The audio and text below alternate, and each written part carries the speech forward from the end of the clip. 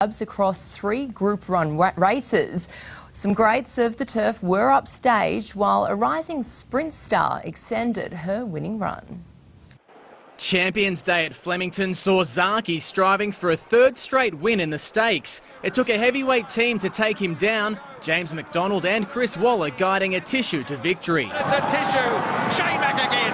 Atishu wins. The man they call J-Mac adding the stakes to his Derby and Oaks wins this week. This carnival's just second to none. The mile was made out to be a battle between long-time rivals Mr Brightside and Alligator Blood, but Pride of Jenny jumped out fast and never surrendered the lead. Pride of Jenny, this has been spectacular.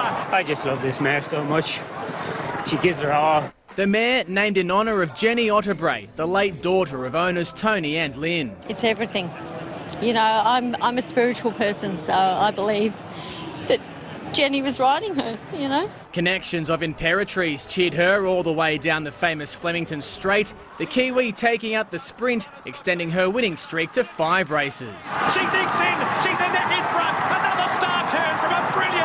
Big money was up for grabs at Rosehill too. Unspoken, sparkling in the $2 million five diamonds. Unspoken the outside, going to them. Unspoken! The youngsters of the track fought it out in the golden gift for two-year-olds. Short-priced favourite Shangri-La Express winning for Gai Waterhouse and Adrian Bott. All the makings of a, of a top-class two-year-old. Luke Dovesey, 9 News.